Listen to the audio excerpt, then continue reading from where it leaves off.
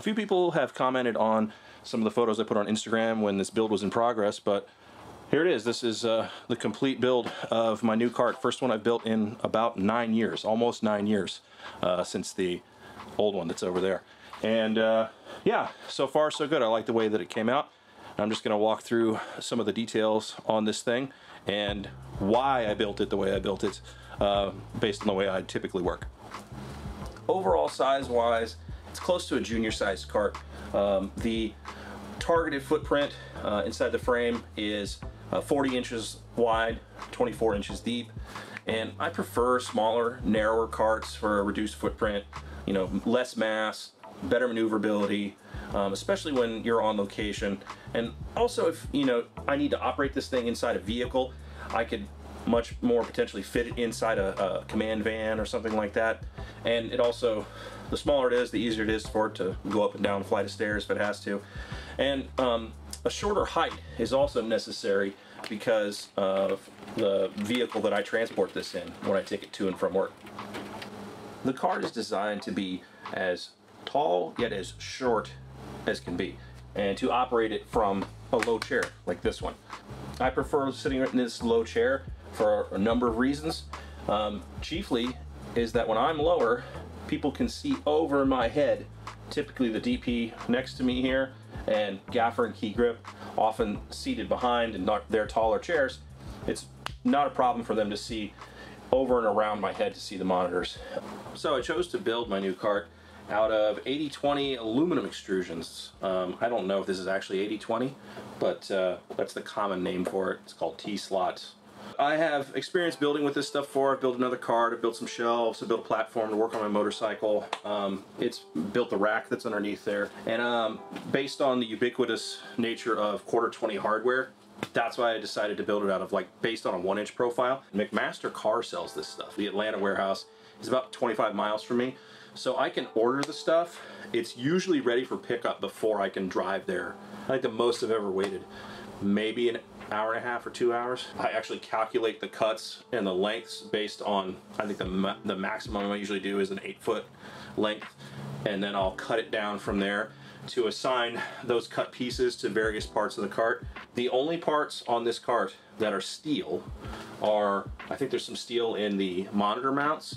Besides all the, the T-nuts and the screws and bolts holding it together, the casters are steel and the ball bearing slides on the drawers are steel, just the slides. But even the drawers are aluminum. Measured this cart with the drawers attached but empty, none of the components on it, the whole thing with the monitor, the lower monitor mount rigged, was about 120 pounds. So not as light as my old Rubbermaid speed, speed rail cart, but very light um, and way more robust, way more solid um, and a lot better looking, let's put it that way. Starting at the ground here, I have 10 inch pneumatic casters with foot brakes. This is framed with 1 inch by 2 inch T-slot profiles and it's got a sheet of 5 gauge aluminum 5052 bolted underneath. So the lower deck, this houses my custom rack unit that I built also out of T-slots. I have yet to wire everything in here for DC, so this bin contains all the AC wall warts and things like that. I'm currently running it with a uh, UPS power supply and I have a USB device charger here and some battery chargers back here also on top of the UPS. So this is what makes this cart custom. As I said, I like to operate from a lower position and I still wanted to have the cart be as tall as possible and give as much space up top for DP to spread out, to operate iris controllers. There's, they, there's space for their laptop there or their lunch or whatever. And I have this slide out tray that brings all of my computer control surfaces right to me. And I have my keyboard, my trackball, everybody should be using a trackball, not a mouse, trackpad's okay. I have my color control surface, some people don't even use them anymore, um, and a stream deck right here. And then I also have a on an arm that I can position around the corner here. a tablet pen monitor. It's nice on some of these controls for um, the curves feature in LiveGrade, and it's just another option for an interface. But the nice thing is, is that this is just above my lap. Um, it clears these uh, arms on the chair. I'd actually like it to be a little bit lower, but this is the lowest I could get it while still having the height I needed for a future expansion of the computer system and rack underneath and still allow it to slide out and have enough space for all these items. Now, in the future, I would like to have this be able to slide out and over because I could add a monitor on the side and then the entirety of the front of the cart could be uh, utilized for the DP. So one of my main priorities with this build was to size it for onboard storage. And I have a nice 3U rack drawer here with all the more common bits stored right here in easy reach. And then there's another drawer down here on the bottom and that drawer has, you know, tools, some spare electronics, ratchet straps, and D-rings, just a bunch of uh, stuff. Oh, I keep my weather protection in there, so I have a space blanket and um, a bag that I store in there. These drawers are from Penn-Elcom. They have a new series, and I don't remember the, the number. It's like R225, something like that. But these are aluminum rack drawers, so lightweight. So this thing is sized to actually take two of those side by side. Um, and I would love to do that, but it would have made the cart too tall. And then I would have lost all of the gains I made ergonomically with the pull-out shelf if I had to reach way up here to the top deck to get to the iris controllers. The top deck is a very solid piece of a composite material called Alumalite.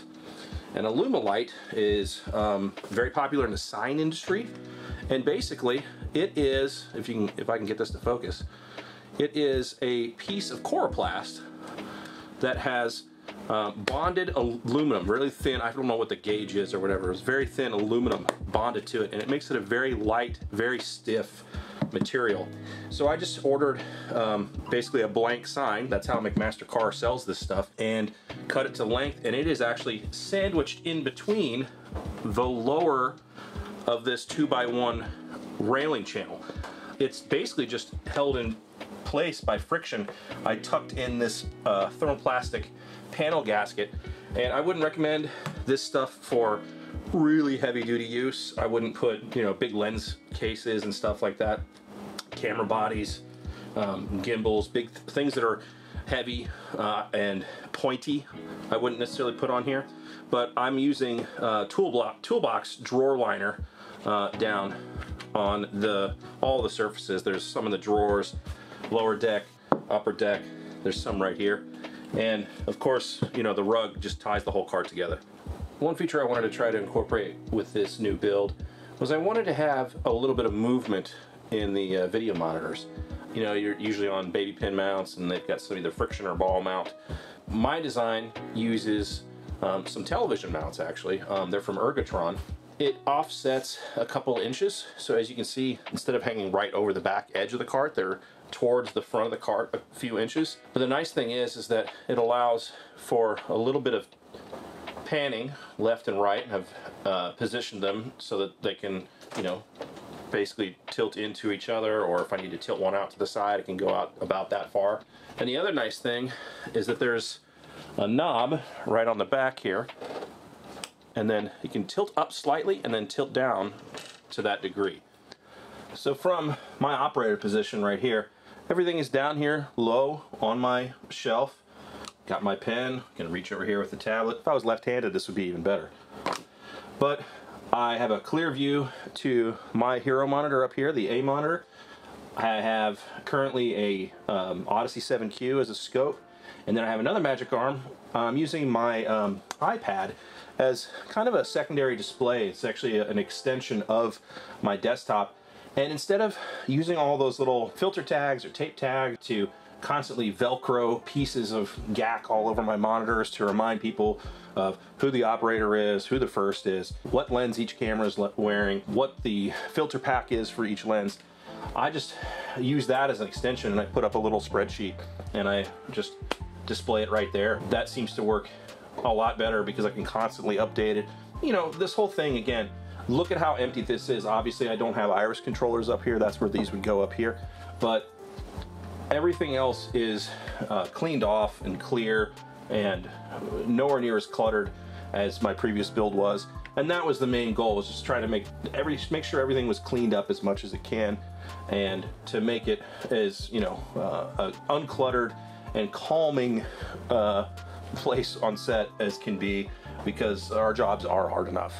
So by far the worst part about this whole thing, and I don't have a lot of complaints, but the worst part is is that this thing is sitting here in my garage, not at work. I'm not getting paid to rent it out to use it. It is sitting here waiting to go to work like a lot of us have been in 2023. It's been pretty awful. I'm sure that's relatable for a lot of you. So uh, hopefully this thing will be seen along with me operating it on set soon and we can all get back to work and uh, make some money because uh, it really sucks to have something this uh, capable and nice sit around and not earn its place. So thanks for your interest. If you want any more details, uh, you can message me and contact me. But uh, hope to see you all out there and be safe on set.